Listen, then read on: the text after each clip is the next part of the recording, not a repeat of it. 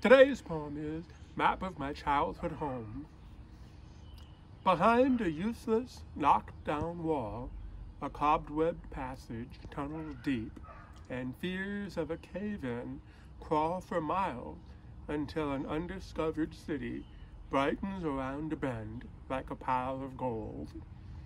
Tied to a Hyperion tree in the sequoia forest, past the city's cashew cannery, the longest ladder of zeppelins in the world, can be taken for a ride so high mountains are hickory tussock caterpillars, thunderheads are sulfur tufts underfoot, thousand mile shadows they cast are skies dry, the stars a toss of salt over a desert shoulder shawled in blue.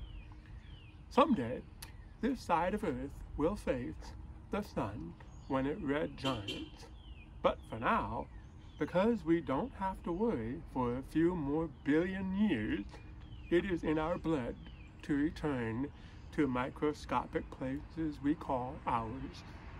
It is safe to dive down through airplane shadows, clipping us like blue streak wings of bats.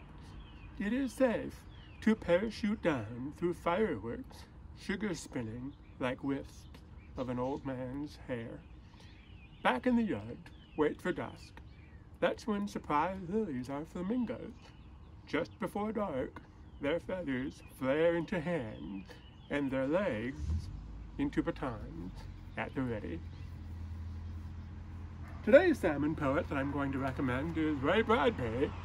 His salmon book is I Live by the Invisible, new and selected poems. Check it out, salmonpoetry.com, and I'll see you tomorrow.